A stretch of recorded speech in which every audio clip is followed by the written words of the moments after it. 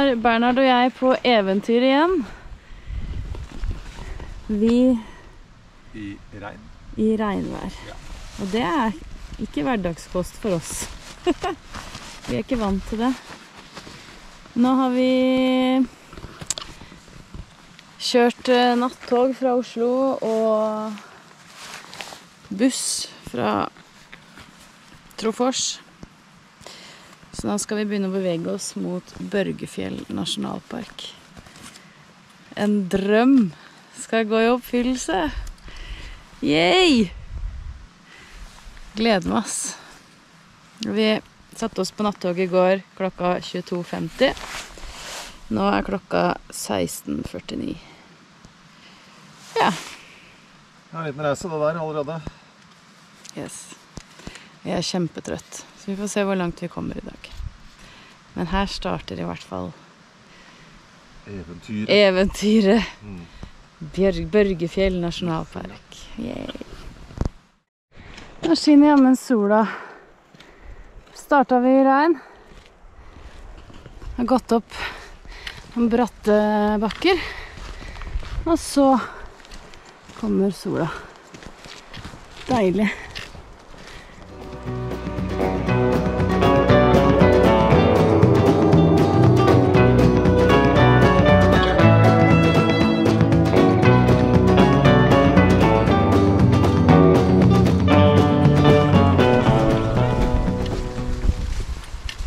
Herregud, dette blir skummelt.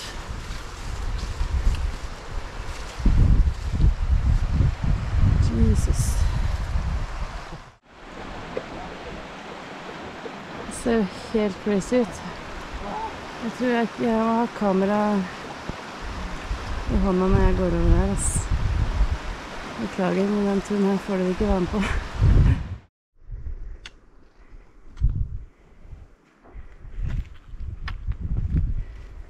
Yay. Går det bra, Bernhard? Er du happy? Ja. Det var deilig når det ble litt mer windy. Windy. Og mer skal det nok bli. Bare vi kommer oss opp. Da har vi gått noen høydemeter, eh, så vi har kommet et stykke opp. Opp her. Men nå ble det så grått, og jeg er kjempesliten og trøtt i dag, så nå har vi satt opp teltene i høy hast. Bernhard ligger på andre siden der. Så tenkte vi bare å ta kvelden, rett og slett. Jeg tror det blir deilig nå. Nå har vi i hvert fall fått sovet ut, spist frokost, drukket kaffe.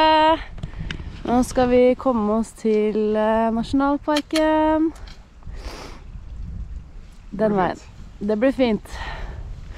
Så er det bare å begynne å, å gå. Hva gjør det? Det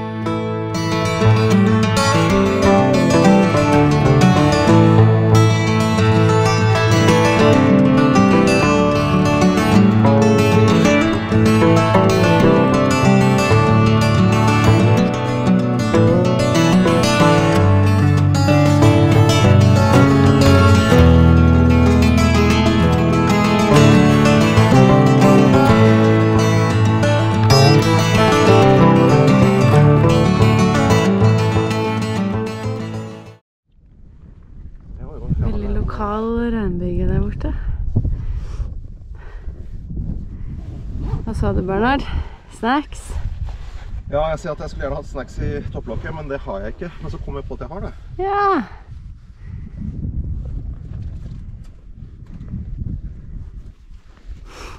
Satser på at det regnet ikke kommer hit nå, men det ser ikke sånn ut. Ser ut som det går eh, nordøstover. Eller nå. Vi skal snart ta fram kart og kompass. Bare vi er ferdig med den stien. Når vi kommer inn i nasjonalparken, da er det slutt på sti. Da er det våre kartkunnskaper det gjelder.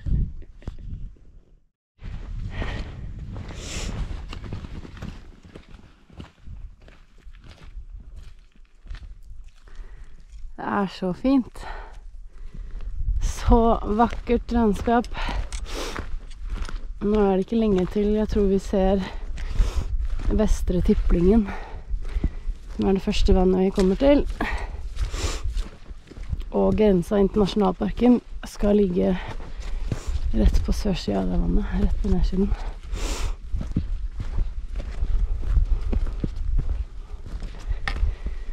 Det blir herlig, ass. Det skal bli herlig elleve dager inni her.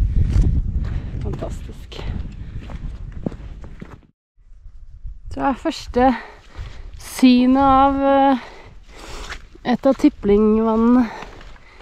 Tror jeg må være Østre Tiplingen.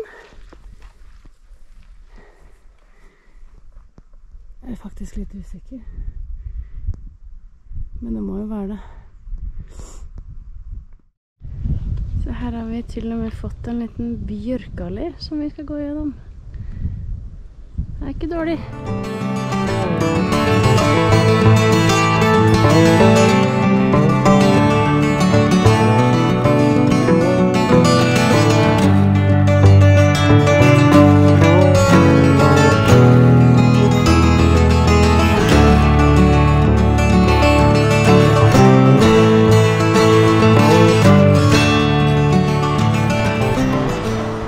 Da vi kommer oss ned til Tiplingelva. Her er det heldigvis bru, men det er nok den siste eh, på lenge. Men jeg kjenner at jeg er litt glad for at det er bru her.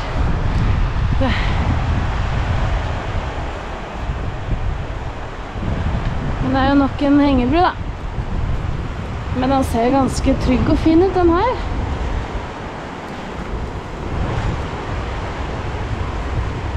Så dette skal vel gå bra. Og i tillegg så entrer vi nasjonalparken. Her er inngangen. Ja, fin inngang, da. Kult. Fin inngang.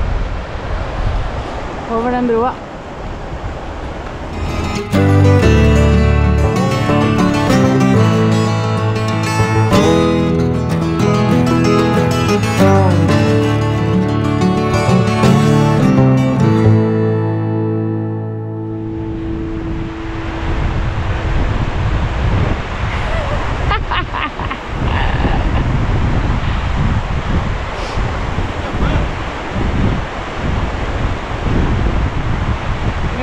Bli vant nå. Dårlig rytme. Dårlig rytme, ja. Skylder på det. ja. Da er vi i nasjonalparken, og nå er vi overlatt til oss selv og våre egne kartkunnskaper. Børgefjell mot oss. Børgefjell mot oss. Eller med oss, kanskje. Håper det er med oss.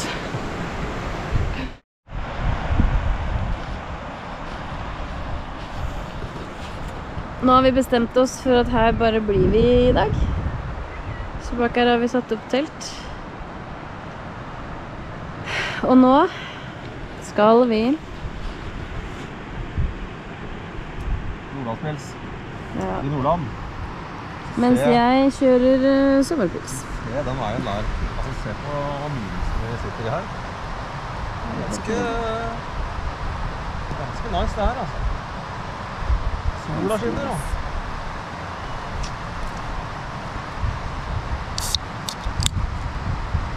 Jeg tror til og med ølen er kald.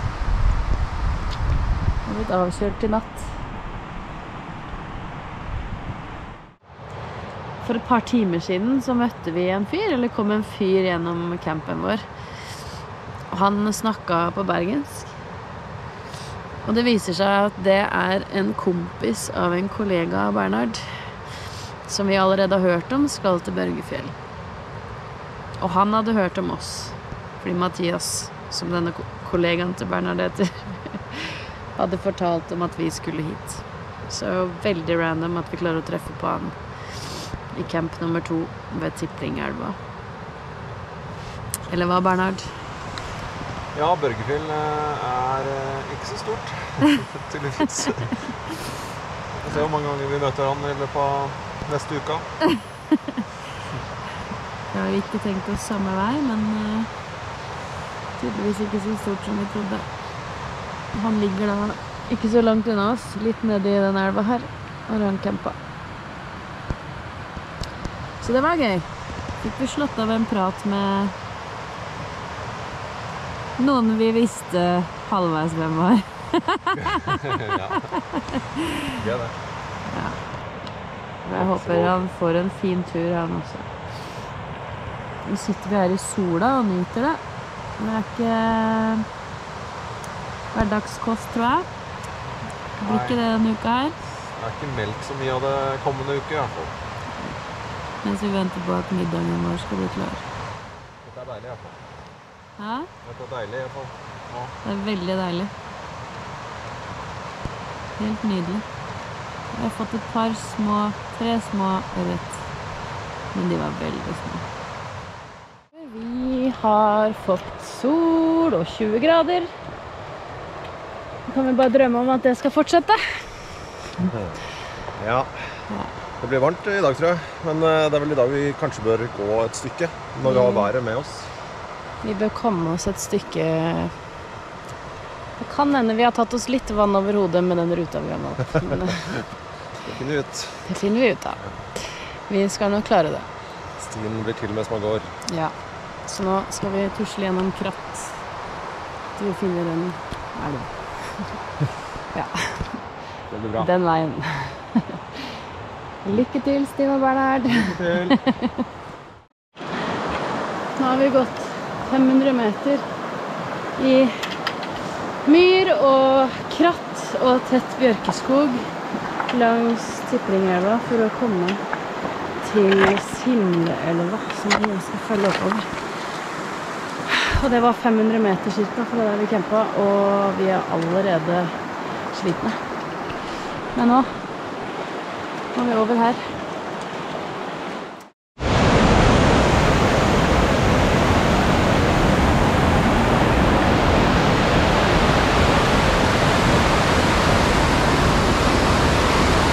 Nydelig.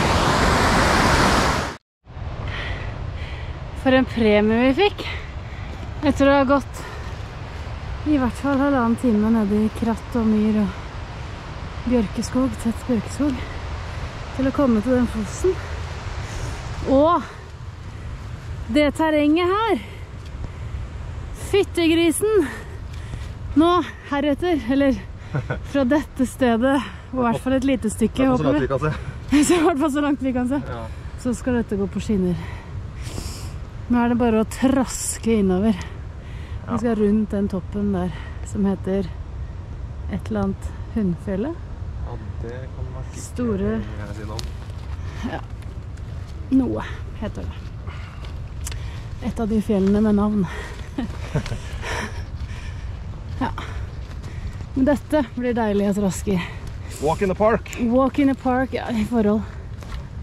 Selv om man er litt seig i beina, så er det myra. Walk in a national park.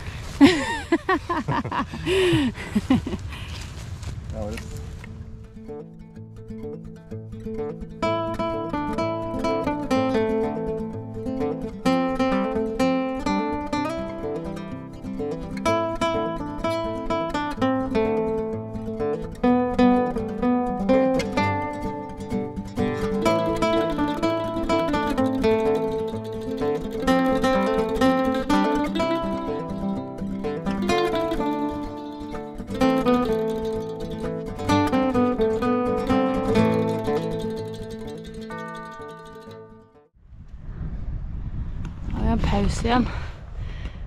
Noe vi har lært på turene våre, så er det at vi er for dårlige på å ta pauser. Bedre med én for mye enn for lite. altså. Så nå skal vi sitte her og slakke den litt, drikke vann, få i litt energi. Bare slappe av litt. For den turen her skal ikke være stress, selv om jeg stresser litt over ruta. Vi vet faktisk ikke helt hva som venter oss, eller hvor tomt det kommer til å bli. Eller hvordan været kommer til å bli. Eller hvordan været kommer til å bli. Været har sykt mye å si. Om vi klarer å komme oss fram til Majavatn i tide. Ja, tror jeg. Ja da. Jeg har alltid trua. Det er vanskelig å filme når vi går her, for man må følge med hele tiden, men må jo vise fram de fine omgivelsene. Med det vi tror er Kvigtinden bak der. Og så er denne elva som vi har fulgt. Nå skal vi begynne å skeine litt vestover. Herregud, fint ass. Herlig ass.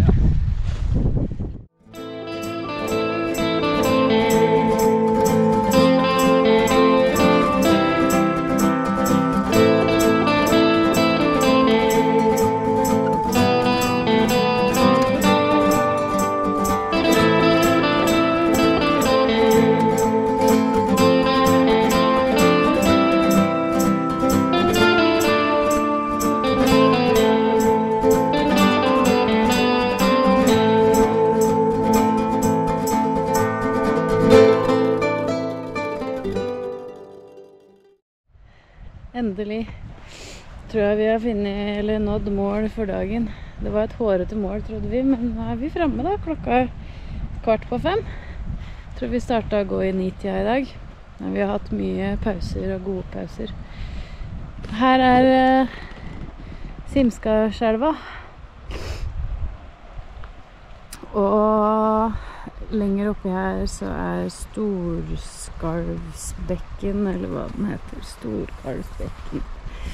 Som vi skal følge når det er vær til det. Nå er vi litt usikre på været fremover. Så nå skal vi bare se om vi finner noen god plass å ha teltet. Nå skal vi slakke inn med den elva. Så det var litt lite vann i forhold til fiske, men det får gå. Kjenner at eh, vi ikke trenger å gå så mye lenger i dag. Egentlig. Jeg er opptatt av å pakke litt, men akkurat det å ta med joggesko for å sette på etter en lang dags vandring, og da også joggesko med helt sinnssykt myke såler, det er faen meg så deilig. Så den vekta der er verdt å bære med seg. Er det som å gå på skumgummi. Deilig. Jeg tror det er en som uh, skyller føttene sine i Jeg hørte bare masse hyling. Her er kaldt vann. Ja, det tror jeg på. Men det var litt deilig, eller? Ja, det var eh, Jeg tror det gjør godt, i hvert fall. Det er ikke noe. Men du, det er jo ganske dypt, da. Altså, her er det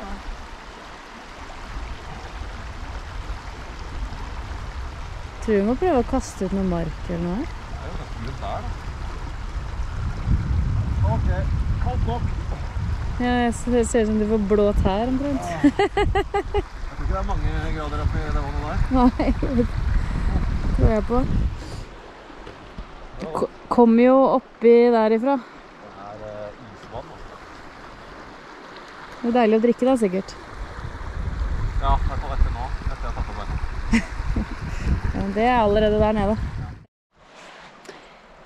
Vi er ikke så drevne på å sette opp eh, tarp, men eh, nå syns jeg faktisk vi har gjort en eh, nydelig jobb.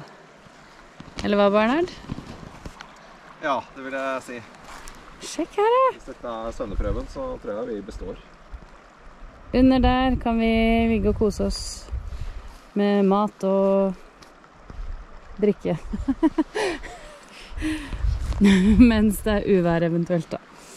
Eh, mens vi har denne utsikten over Simskarelva. Liten stue. Ei lita stue. Da er vi fornøyd. Veldig. Helt nydelig. Helt nydelig.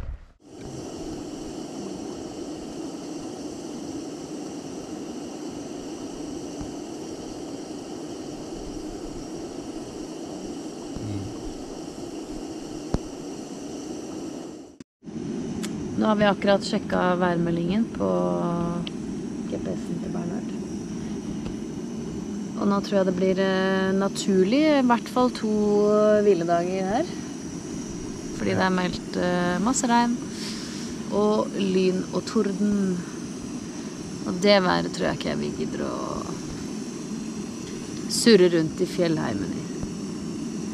Spesielt ikke lyn og torden. Så da kanskje vi blir her et par dager, da. Sånn er livet i fjellheimen. Sånn er livet i fjellheimen. Vi kan ikke styre været. Nei. Man må høre på været, egentlig. Vi må høre på været. Men jeg tror vi har fått en fin plass her.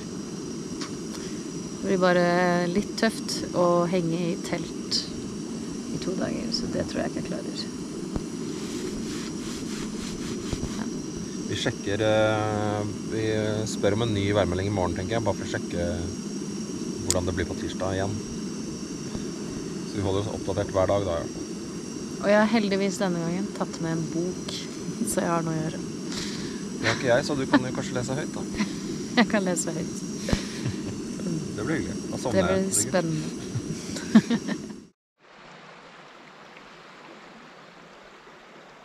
Der sover jeg. Der sover Bernhard. Og bak teltet hans driver han og plukker blåbær.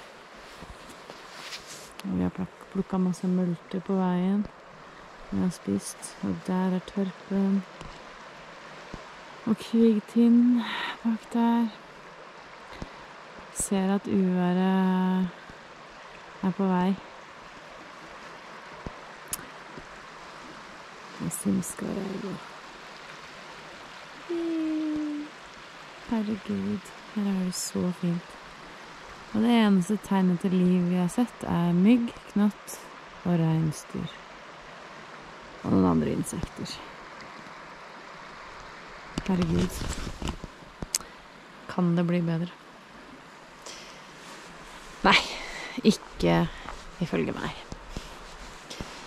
Kan det ikke bli bedre. Dette er det beste.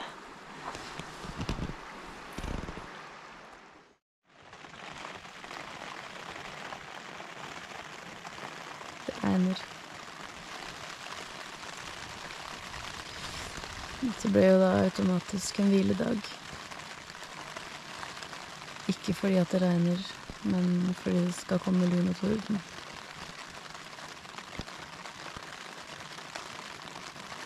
Så nå ligger bare slackeren i teltet, hvert vårt telt. Jeg har nettopp vært ute en tur, for det er litt slitsomt å bare ligge her i teltet. Jeg sliter litt med det. For mye energi, tror jeg. Til å bare bli liggende rolig her en hel dag. Så jeg har vært oppe en liten tur, kokte vann til kaffe. Så nå er jeg tilbake i teltet.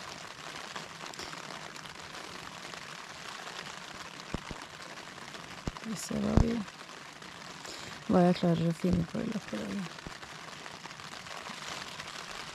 Det kan hende det blir en sånn dag i morgen.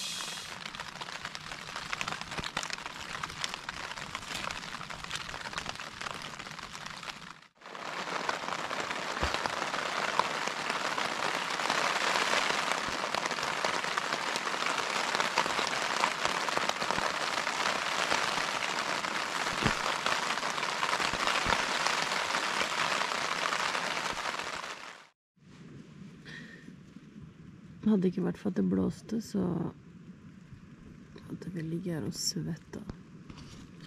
Det er altså så varmt. Så jeg ser for meg at det snart kommer et litt uvær. Jeg ser at eh, det blir tettere og tettere med skyer på lavere og lavere topper, da. Så Kanskje det snart kommer noen smell. Da kom Bernhard med en sjukt hyggelig nyhet. Han hadde tatt en ny værmelding. Det skal ikke bli tordenvær allikevel, og det skal ikke regne mer i dag. Og heller ikke i morgen før på ettermiddagen. Så nå satser vi bare på å bli her til uh, Blir her over natta. Prøve å gå veldig tidlig i morgen, så vi kommer oss ned til eh, Store Tjukkelvann, eller hva det heter.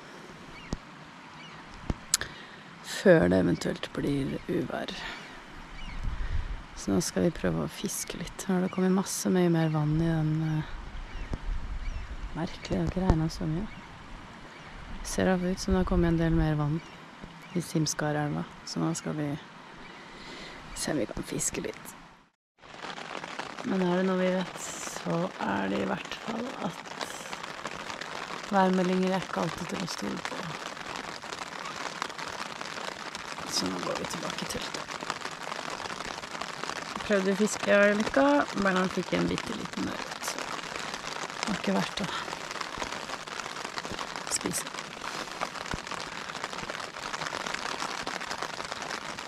Skal ligge her og høre på regningen.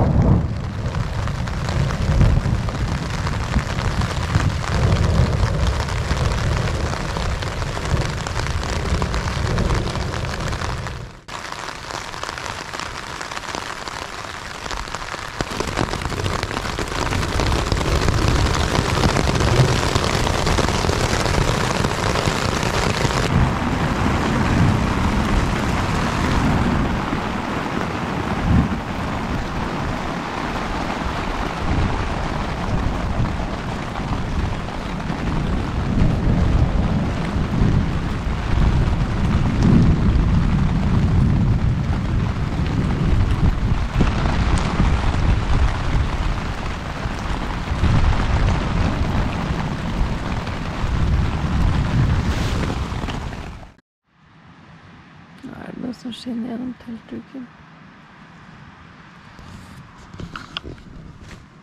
Kan håpe at været har snudd litt.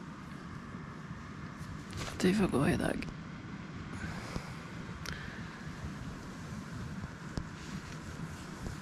Jeg var skikkelig tutt.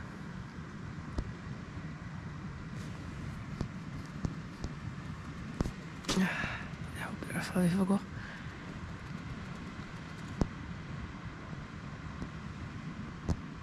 Her inne er det varmt nå. Det er noen lyspunkter å se. Blå himmel rundt omkring, da.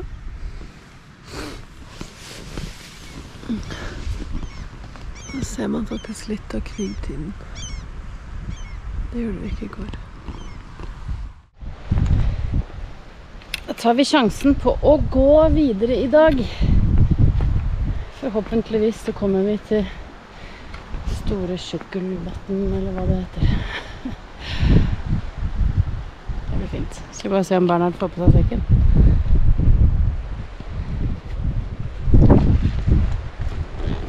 Åh, det var en drøm, altså. En drøm å få den på. Og sola skinner foreløpig. Skyene går kjempefort. Så jeg håper de bare kjører forbi oss. Det er litt vind, men som Bernhard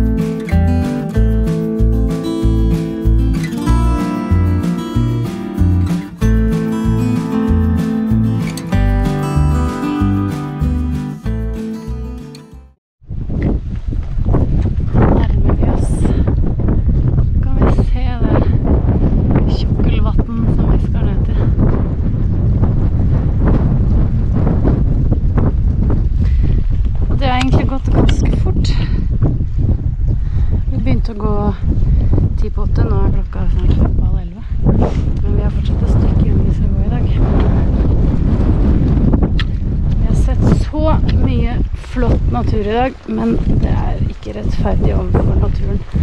Prøve å gjenskape det på bilder, så det meste får være igjen i hodet mine.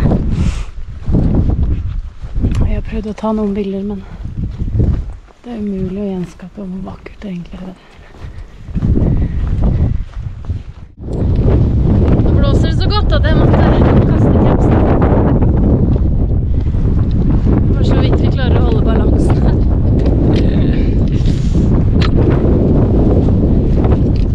Vi kjent på naturkreftene. Det er mye vær på Norge Fjell foreløpig. Mye vær og mye skiftende. Det er vakkert, da.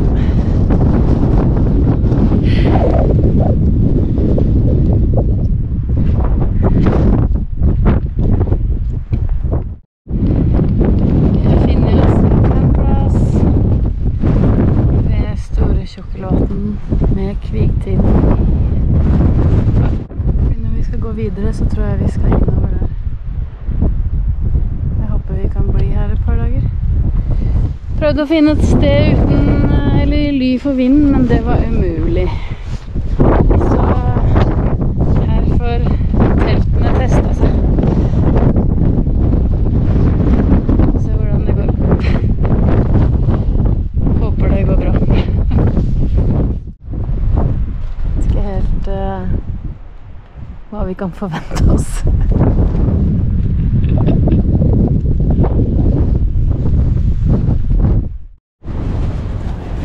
Ganske redd. Det blåser nå helt jævlig. Vinden eskalerte plutselig, og det gir seg ikke.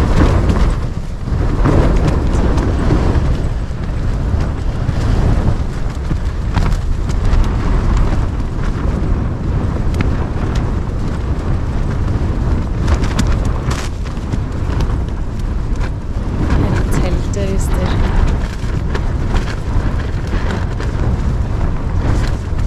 Jeg er veldig usikker på om jeg egentlig burde være her.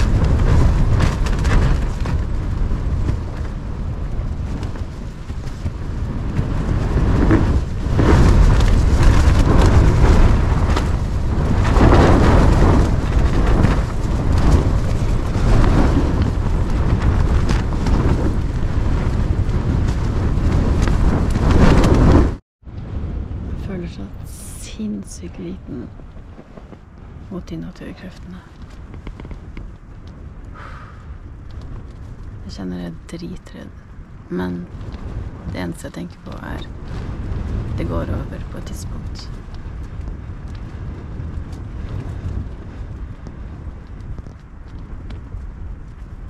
Shit, så hjelpeløs man blir. Jeg klarer ikke å gjøre noen ting. Jeg sitter bare og bekymrer meg for det teltet.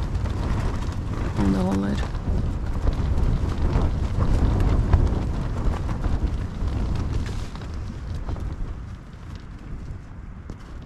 Jeg håper bare det gir seg om ikke veldig lenge, for dette orker jeg ikke, kjenner jeg. Men hva får jeg gjort? Ikke en dritt.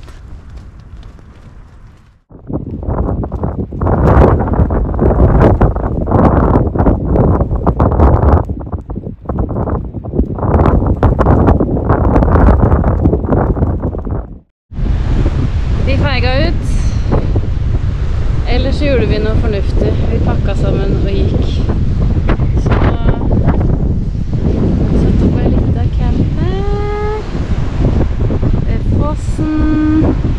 Her er det gli for vinden. Så kan vi se bort på vannet der. Og store bølger det blir.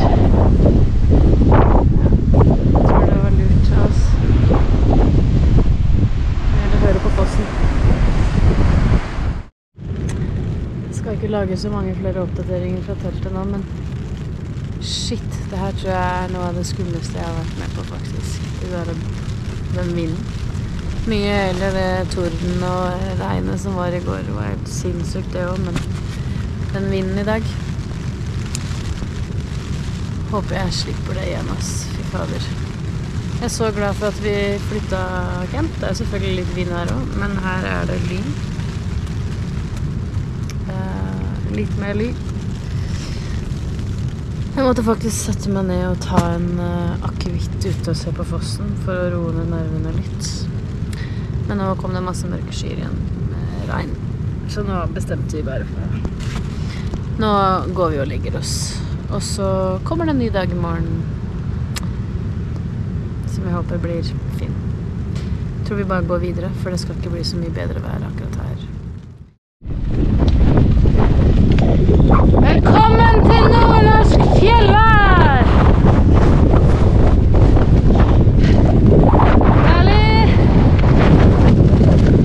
Vi går i halvveis motvind. Deilig.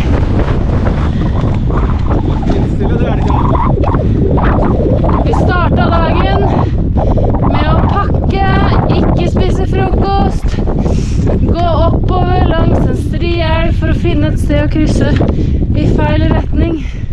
For så å krysse og bli våt på beina. Nå er vi på vei dit vi skal. I en forferdelig vind. Herlig, ass!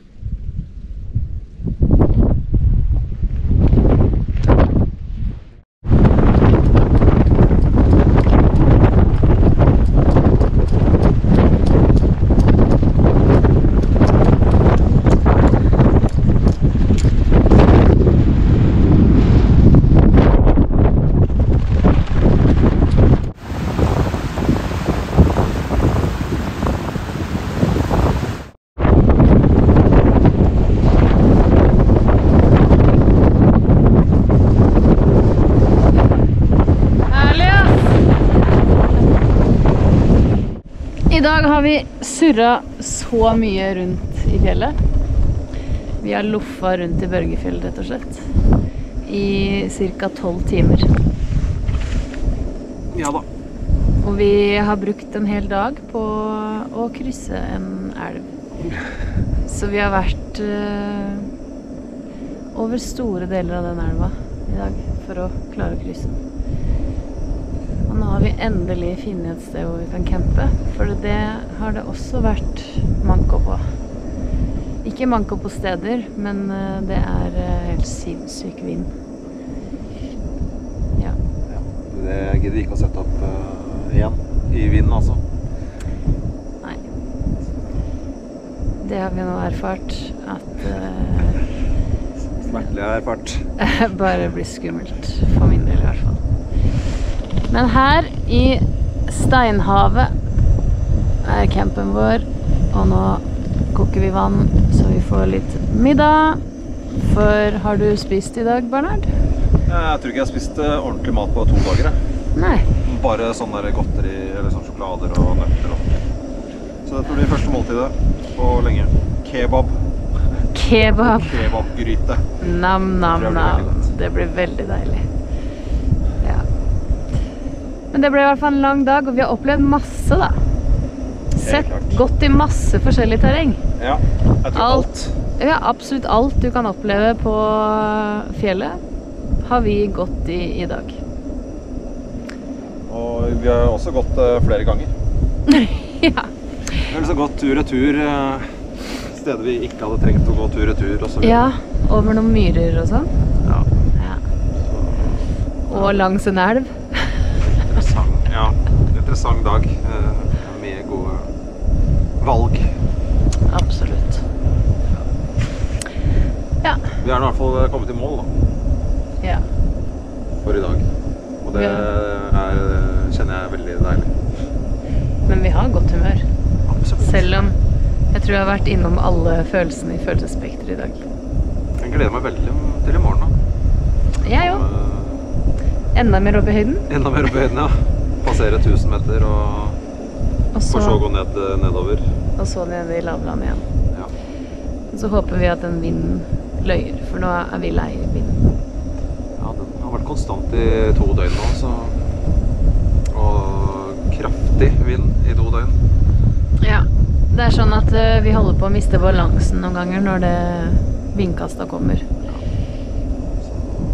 Nei, det er eh, erfaring, dette her, altså.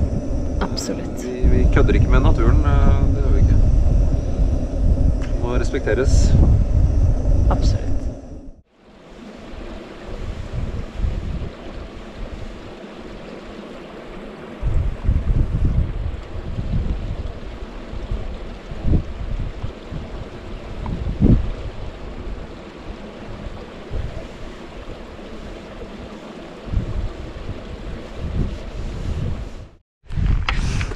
Akkurat idet vi hadde fått i oss frokosten og en kopp kaffe, så kom regnet. Så nå tusler vi oppover fjellet her i regnvær. Men vi har kommet ganske Ser lyselig slutt bak oss, da. Gjør det, og vi har jo kommet ganske høyt når man ser det vannet der nede. Mye stein, da, som må forseres. Mye stein som må forseres, og det er det videre oppover òg. Men det går framover. Nå ser vi nedover dit vi har tenkt å prøve å finne camp for et par dager. Tre. Vi får se. Jeg håper vi finner et fint sted nedi her. Kanskje et fint sted å fiske.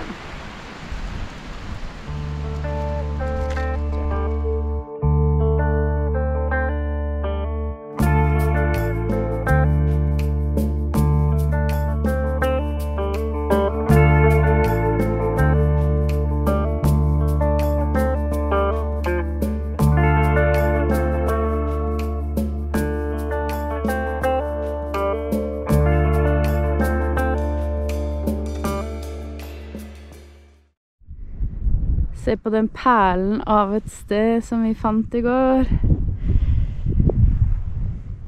Der er Bernhard sitt telt, og her er mitt. Nå har vi endelig litt sol. Så nå har vi lagd oss litt mat og sitter i hver vår teltåpning og spiser. For å få litt liv, for det er fortsatt litt vind, men ikke så mye. Den løyer. Vinden løyer. Men det har regna i hele dag nesten, så vi har hatt mye tid i teltet. Men det er kjempefint her. I hvert fall nå når sola skinner. Men fisken har ikke villet bite på ennå. Dessverre.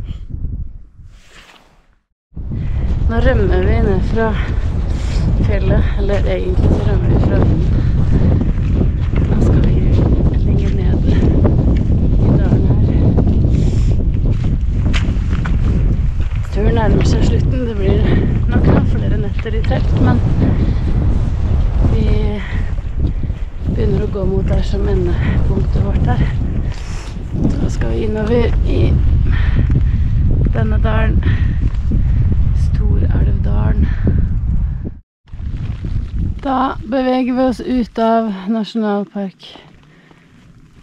Nasjonalparken. Ferdig med Børgefjell for i år. Ja, så kan det regne og blåse så mye det vil der inne. Bare du slutter her ute. Bare du slutter her ute. Ja, Ja, da er vi enige. da er vi i gang. Da er vi i gang.